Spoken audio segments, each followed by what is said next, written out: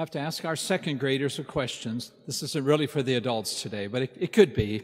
But for the second graders, it was last Saturday that you came to First Reconciliation. And many of you are there, hopefully all. We know that you came as a class. So I have a question for you. Do you feel holier this week than you felt before reconciliation? Who feels more holy this week than last Oh, thanks be to God. Thank you. Put your hands down. I was kind of worried. That question could get somebody in trouble. But it is true, isn't it? You came to first reconciliation. You came to ask God for your forgiveness of sins. And after your sins are forgiven, you are a holier person. You're a better person. You're a person closer to God because you went to confession. Now, the challenge is we have to start over again, trying to be good, trying not to sin, so that we can stay as holy as possible. We're all trying to do that. Father Dan's trying to do that as well. So this morning, when we listen to the gospel, Jesus is telling us something he told his apostles. This is a prayer at the Last Supper. These are some of the last words we hear of Jesus before he's arrested.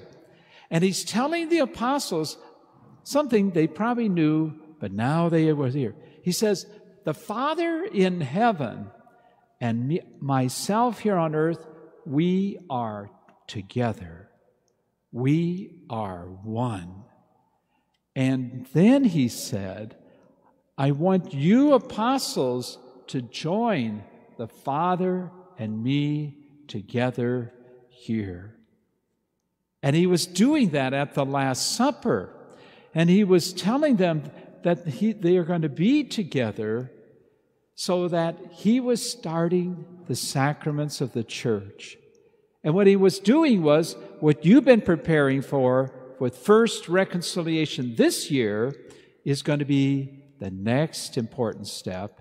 And of course, you know what that is preparing for first Eucharist preparing for our first communion. And even though it seems so far away, and our teachers have so much to teach us about the Holy Eucharist, about Holy Communion, you have taken a very important step by now confessing your sins because Jesus wants you to be with Him, the Father, and He wants all of us to be united together. So today, at communion time, when you watch the other people receive Holy Communion, don't only watch what they're doing, holding their hands out to receive the Lord Jesus. Pray for them that as they receive Jesus, you too will come to know what that is like. And imagine the promise of Jesus. Promise, he said, I will come to be with you. He is going to come inside us. We are going to receive Him so that we are united with Him in the most powerful way, most beautiful way, the most spiritual way possible for us. And as we do that, we realize, just like now, what you're feeling holier, it's going to even be more because now you don't get to just do that maybe once a month or every couple months for reconciliation. We could do that every time we come to Mass to receive the Lord, to be holy, to become more holy. Not to say that we're perfect and we're not going to sin, but that we can be better, we can be stronger, we can resist what we know. Remember how we told our sins last week?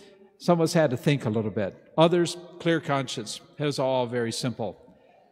All of us, including Father Dan, find we know our sins, and when we're with Jesus, we are with the Father, and it's a promise He gives us. So today, let's not just watch, but let's pray as others are receiving communion. And Mrs. Mayer leads us in a song that we realize we are being united by the Father and the Son together in holy communion.